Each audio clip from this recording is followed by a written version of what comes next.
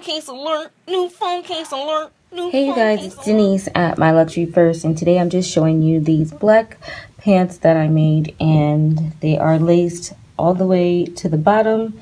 So yesterday I had some that were laced like the knee and below, but this time what I did was instead of having this part um, laced, I just have it open, and then I just start the lace um, a little bit above the knee and going down. So that's how that looks. And I also added more eyelets all the way to the top instead of um, like missing spaces. So I just want to try out this look. There's no pocket. I'm just pairing it with a yellow shirt today and some yellow shoes. And I'm going to take a couple pictures of them. But this is how it looks. So here are my second pair of leggings. And basically, they're not really leggings this time. They're just pants.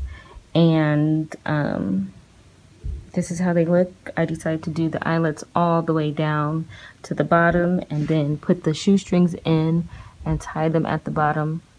And so I didn't start the shoestrings up here because then I would have needed four, like two pair.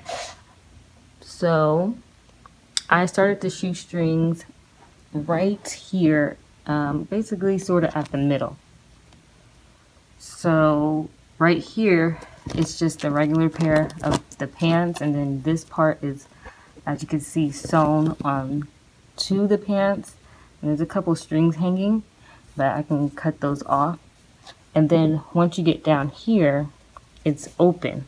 So it's more like open and then you can put the strings in and string them all the way down to the bottom. And that worked out good because otherwise if I would have started at the top I wouldn't have had enough um, shoestring or shoelaces I mean to finish it off.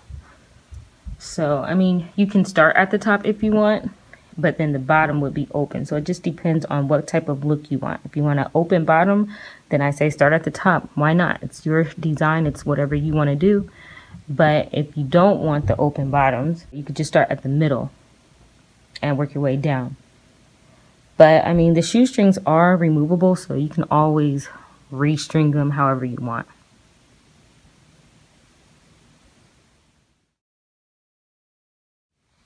So here are my happy feet again. And these are the pants. So as you can see, the strings are at the bottom. They need to be cut a, little bit. And then they come up. And this is more, you know, of the, the open design until you get up here.